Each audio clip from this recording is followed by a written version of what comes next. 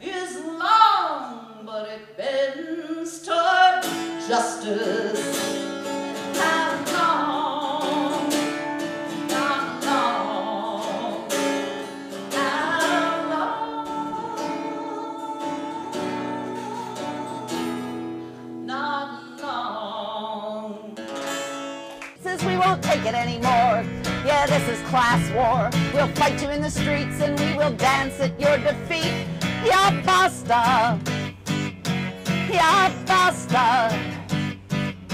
Enough words have been said, enough songs have been sung, enough protests have been had, enough banners have been hung. We are many, they are few. There's so much we can do when we use what we have learned. Fight them on our own terms, cause they need us. We don't need them. It's our sweat and labor on which they all depend. They need us to drive their trucks. They need us to shine their crowns. They need us to be the cops who beat our comrades down. Well, what good are all those laws with no one to institute them? What good are all the guns if there's no one left to shoot them? I won't take it anymore.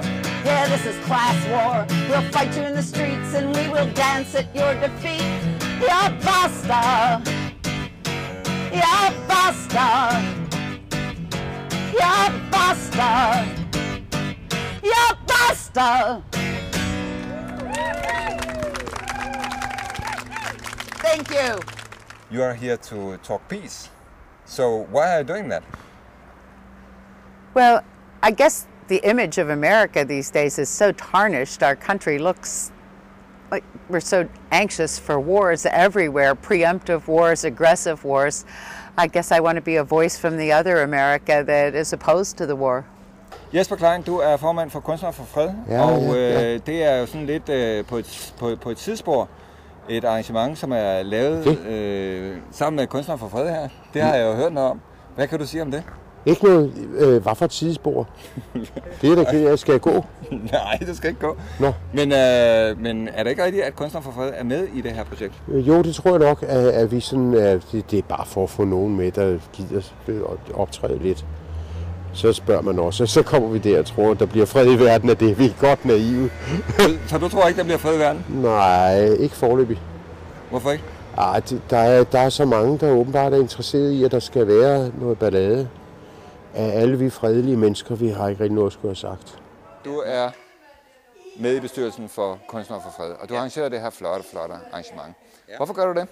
Jamen det er jo fordi, at det, det kan jeg ikke lade være med. Jeg er sådan en, øh, der godt kan lide, der skal foregå noget. Everybody wants peace, so, so why sing about it? Well, I would like to believe everyone wants peace, but their ways of achieving it are quite different. And uh, I see a lot of negative results of the way my country, for example, goes about seeking peace through war. So I think others need to offer a different uh, opinion. Why do you reckon that your, your country wants uh, peace through war?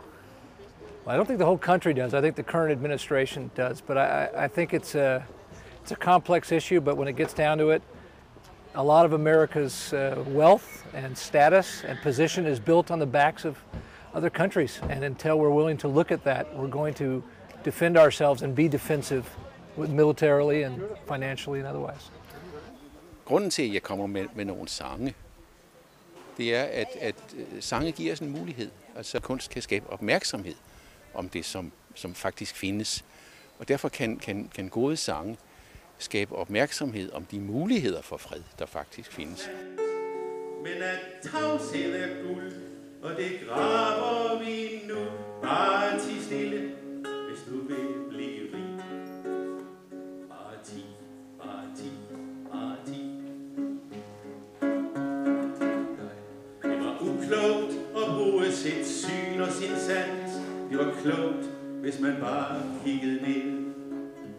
Så vi passede hver sit, og vi sagde ingenting.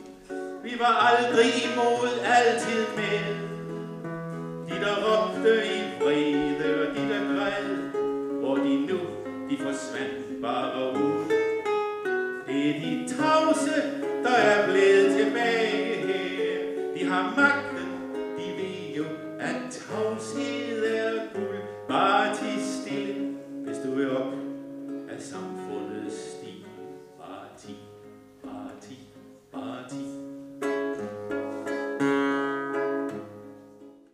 United States these days, they have a, a, negative cast on the word entitlement, as though anyone who feels entitled to something is, is wrong somehow.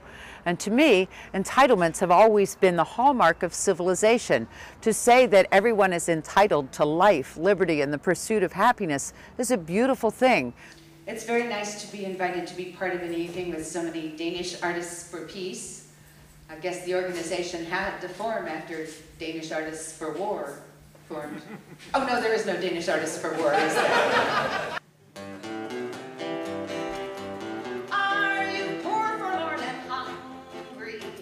Are there lots of things you?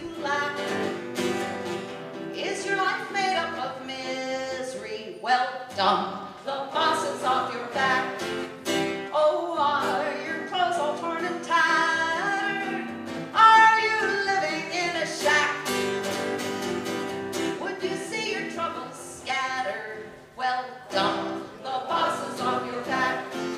Jeg synes, det er en menneskerettighed, at man kan få mad på bordet hver dag. Det er der faktisk mennesker, der ikke kan gøre. For Anne Finney, hun fortalte jo om børn, der gik sultne i, i seng om aftenen i USA.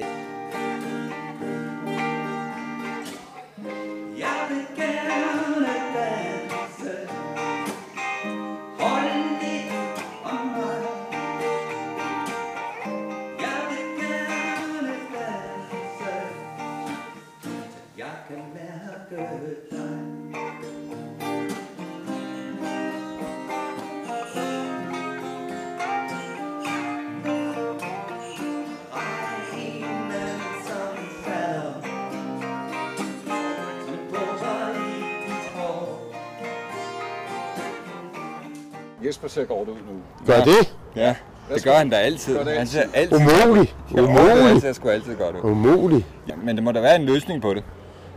Ja, i givet fald har jeg den ikke. Her en stille aften, hvor solen går ned over Farum. Nej. Men Du har ikke løsningen? Det havde været passende, om jeg havde. Jeg kan bare sige, altså, stands det der, øh, undgå CO2-udslip, stands krigen. Det var, det var meget klogt sagt. Det var meget klogt sagt, ja, det var, det var jeg jo indrømme. Men, øh, men du gør jo noget ved det ved at stille dig op evigt og altid og snakke fred. Jamen, jeg skal nok holde op. Det må blive kedeligt i længden.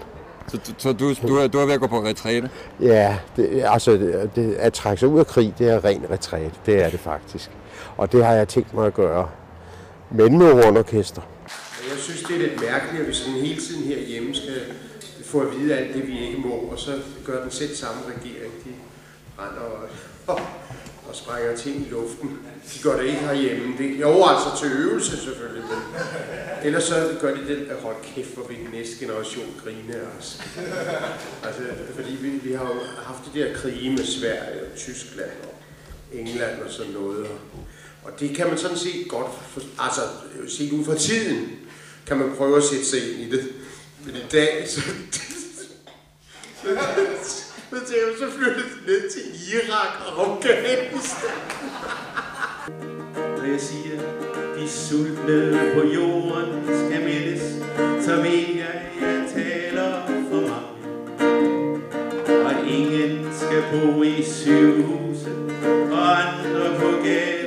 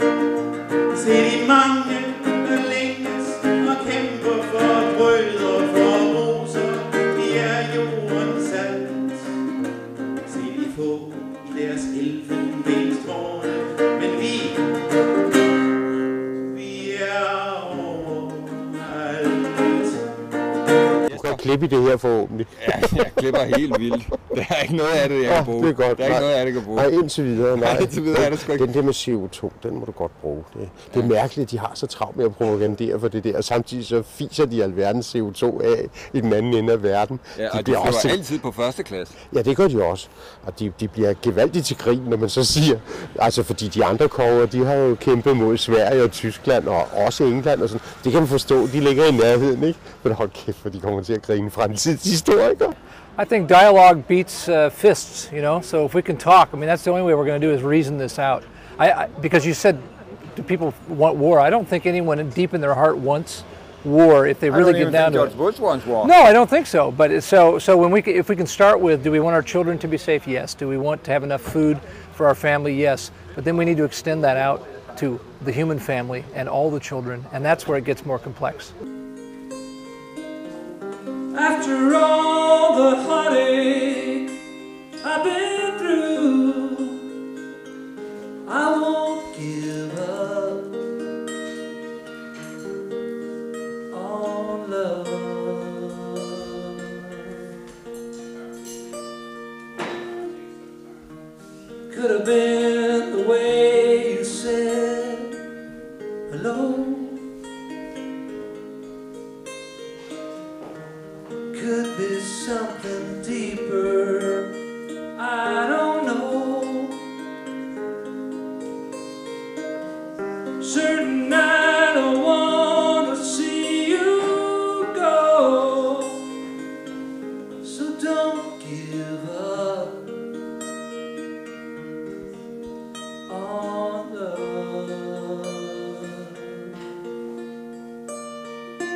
Breathe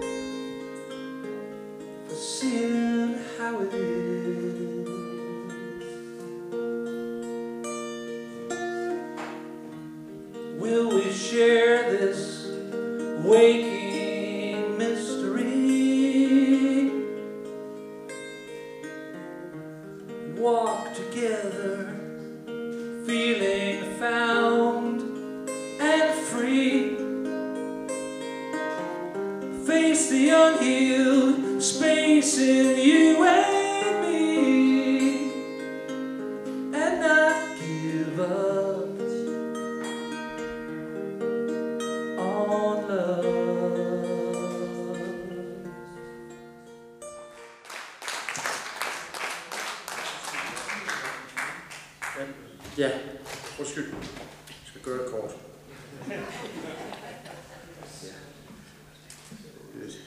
Undgå CO2-udslip.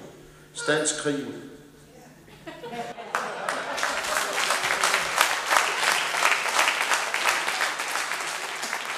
opponents against these entitlements. They say that it's not possible to, to give everybody on the globalized world uh, these rights. What, what, what is your answer to that? Oh, well, it's clearly not possible if we want to support an Uber class that live like kings at the expense of the rest of us.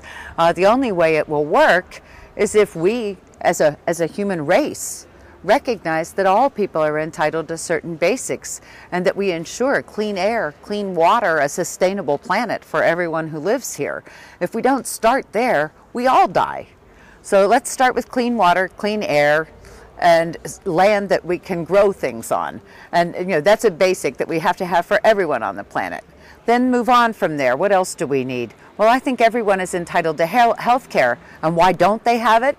Well, in my country, people don't have health care because we believe that people ought to be able to speculate, to invest, to make a profit off the illness of other people. To me, that's lunacy. I don't understand how we ever let profiteers into health care at all. We have the most elaborate and overfunded welfare system in the history of humanity. We just have a different set of clients than you do here in Scandinavia. It's the corporate welfare polka. It's time to end welfare as we know it and get those greedy chiselers off the dole. It's time to end welfare as we know it. Teach them a little self-control.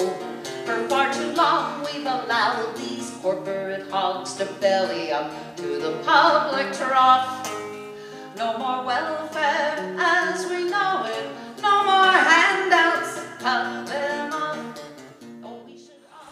Jeg vil gerne så synge en, en, en folkesang.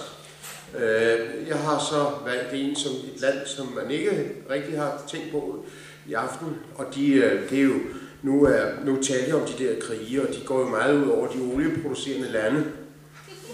Der vil jeg godt have lov til at advare Norge. Man ved jo aldrig, hvornår de står der. Så derfor vil jeg gerne synge en lille norsk folkesang. Tak, skæbne. Jeg står selv nærmest. Det var den lille gut, og han gik ud i fjellet. Jeg har glemt at sige, at den hedder Gytten i fjellet.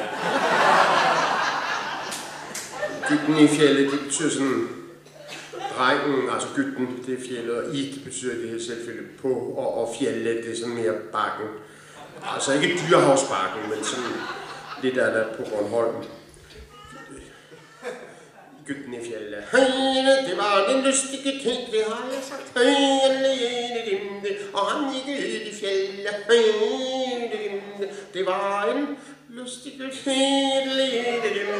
så han gik rundt og trallede, tralalala, hele, tralalala, hele, tralalala, hele. De meget lange, de norske folk. Så.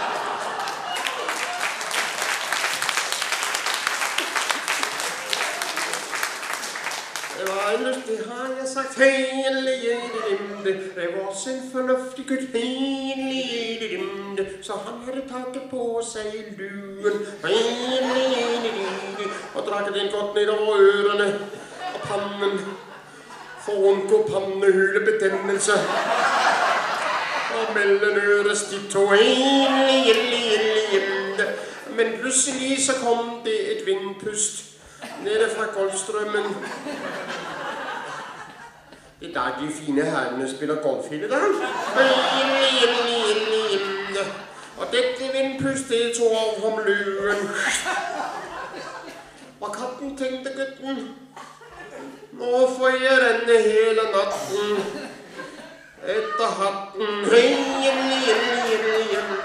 og ganske rigtigt, det blev mørkt i Norge.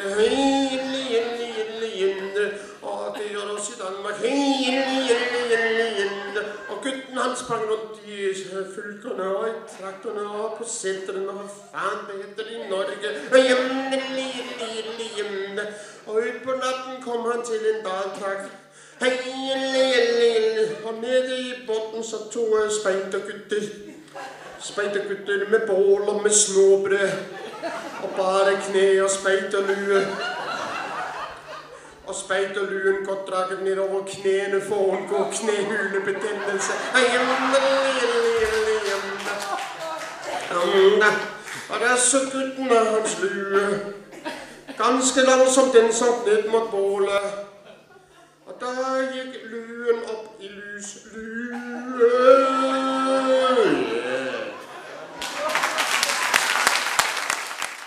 I think in Hollywood they say never try to follow a dog or a child, but I think that's only because they don't know about Jesper Klein. That's absolutely fabulous. Hvilke muligheder har vi så for fred? Der skal vi eddermame holde sammen. Og lade være at tro på alle de løgne. Først og fremmest lade være at se på fjernsyn. Det vil være et stort skridt imod fred. Nu står vi jo i fjernsynet her. Øh, Hvad, hvad, hvad, hvad, vil, du så, øh, hvad vil du så sige til, til seeren? Han skal slukke? Ja. Okay. Jamen altså, seer, Pepper Hagen synes, du skal slukke lige nu. Og hvad skal han så gøre i stedet for? Gå til et møde. Om hvad? Fred. Eller i det hele taget gå til et møde, snak med andre mennesker. Det er der kilden til, til kundskab og humør ligger. Det er, når man møder andre mennesker faktisk i virkeligheden. Og, og så skal man ud og høre noget musik og... For eksempel, for, for eksempel. Men der er alle mulige andre ting. Men bare, bare man er sammen med andre mennesker. Per Warming sagde, at vi skulle holde op med at se tv, og vi står jo her i et tv-medie. Hvad kan du sige til seerne, der sidder og kigger på os lige nu? Jeg kunne sige, at øh, de kunne prøve selv at se, om de bare på en eller anden måde kunne gøre en eller anden lille ting. Og det behøver ikke at være særlig meget. Det kunne være at øh, finde nogle af sine venner og, og øh, starte på øh, en lille ting, som man blev enige om. Det var noget, man godt kunne finde ud af at, at sætte i gang. Man kunne øh, henvende sig til nogle andre foreninger og høre, om der er nogen, hvor de kan være med. Man kunne komme til Kunstner for Fred, hvis man nu var kunstner, men der, man behøver jo i princippet vel ikke at være kunstner for at deltage i noget af vores arbejde. Rocks and the ocean, oh, look so fine. Fear just came crawling, hit you right in your face. White knuckles on your hands, it shows up like a ghost. When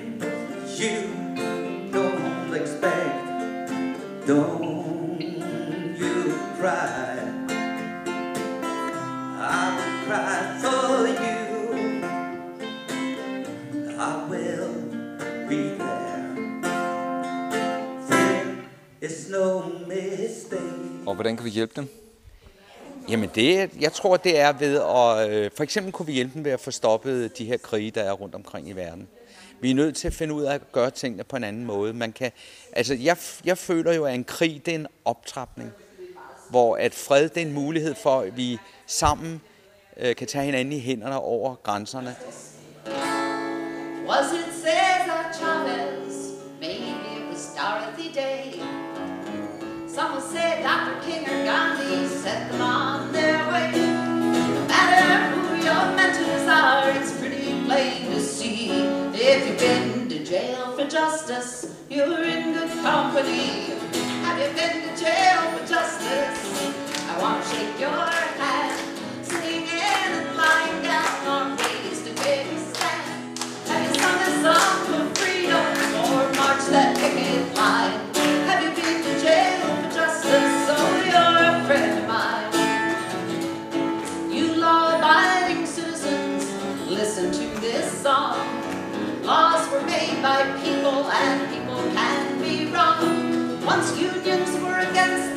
The law, slavery was fine.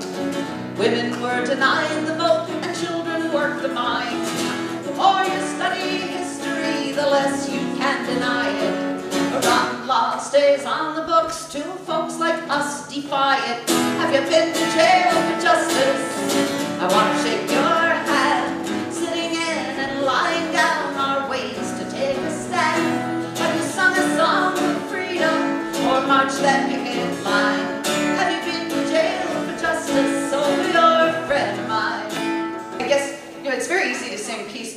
peace, but we could sing where have all the flowers gone till the cows come home. And if we don't do something about the injustice in the world, uh, we will continue having wars.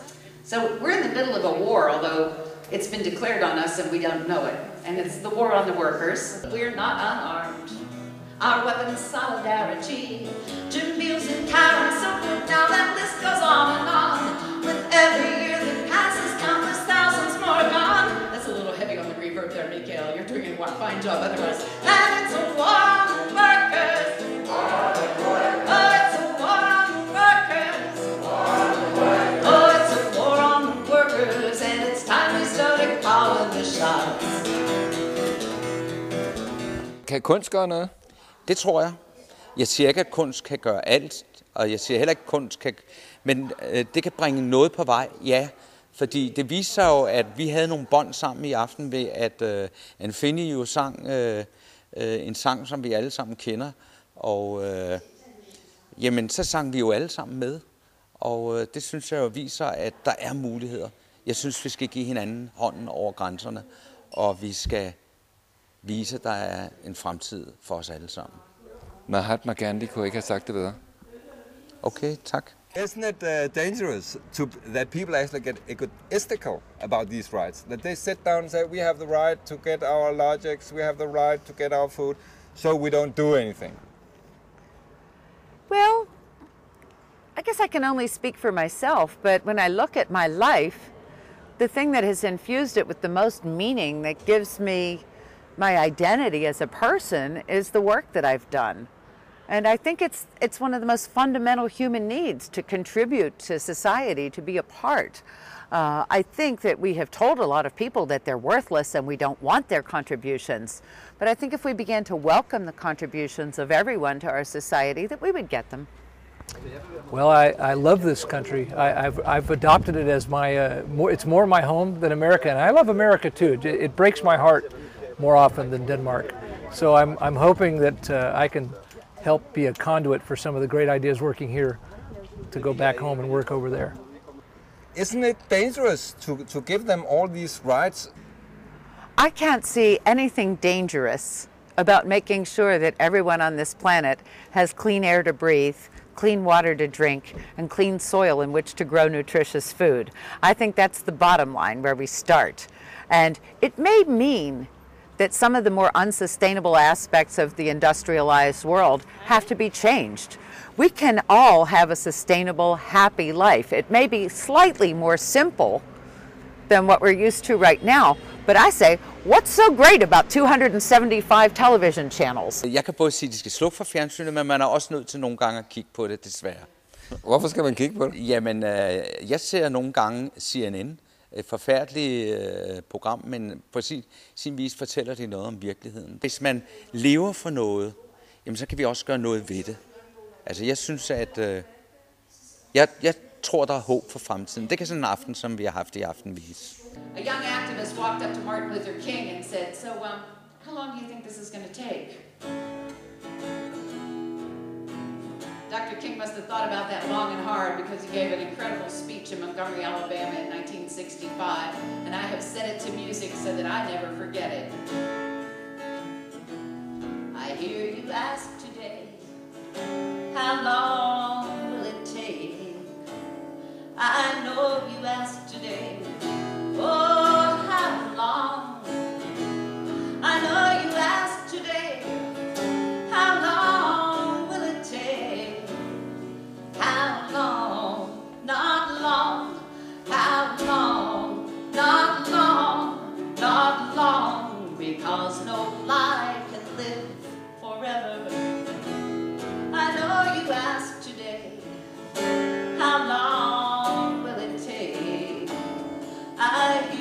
ask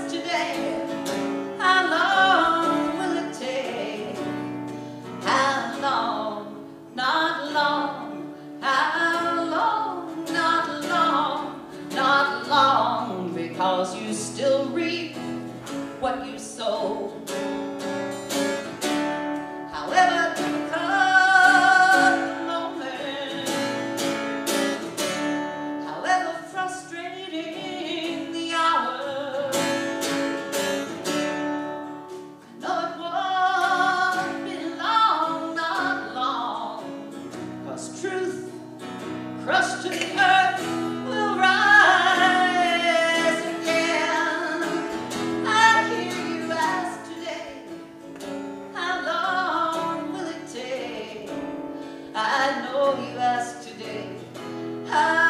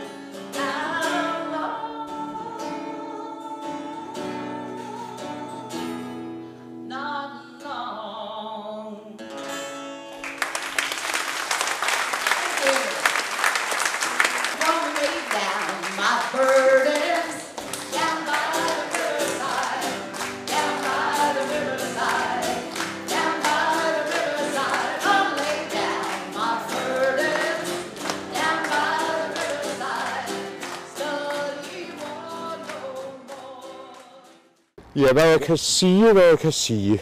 Hvor skal vi begynde med af? Ja. Ja. Amor er masser af mat, amamus, amatis, amant. Hjælper det? Det hjælper meget. Ja. Så må vi have en på B. Øh, Børges bukser, binder. C. Cykler, Cecilie. Nej. No, det var nok. Og ryger C. C. Nej, jeg, der, det C er et vanskeligt bogstav. Okay. Men heldigvis, så kan du, øh, så der er langt til X. Jesper, jeg elsker at klippe i alt det, jeg laver om. Ja, det om kan jeg med, godt med forstå, Dig, ja. jeg Det kan ikke bruges til noget det som kan helst. ikke bruges til en skid. Nej. Og jeg morer mig hver eneste gang, jeg sidder og klipper. Hvor er det godt. Ja. Ja. Så kan du ikke sige lidt mere? Jo, hvad skal jeg nu? Er det al- alfabetet, eller hvad er vi ved? D. D. Jamen, de dumme drenge skal holde deres fred. Hold op med det krig. Jeg synes altså, det, er- det er virkelig dumt. Og så, det er jo ikke bare dem, der dør af det. Det er dem, der også bliver tosset i hovedet og sådan noget. Det er jo noget pjat. Ja. Nu har først så uddanner vi folk til at være fredelige og gode og sådan noget. Så går vi ned og... Ja, det er ikke klogt. Det er jo faktisk et brud på menneskerettigheder. Men en af er det så menneskerettighederne er jo, at man ikke må slå ihjel. Ja, At- at men det skal- står allerede i Bibelen jo. Det er det. Det er en meget tidlig menneskeret. Ja. Ikke at, at få lov til ikke at slå ihjel, det er dejligt. Jesper, øh, det var dejligt at få et godt indspark Ja, fra Jesper det Klein, det være, og ja. øh, vi må ind og høre Anne Feni. Det er jo det, vi er her for. Ja, ja, det er I vel. Ja. Ikke, ikke for at snakke med Jesper Klein. tak skal du have.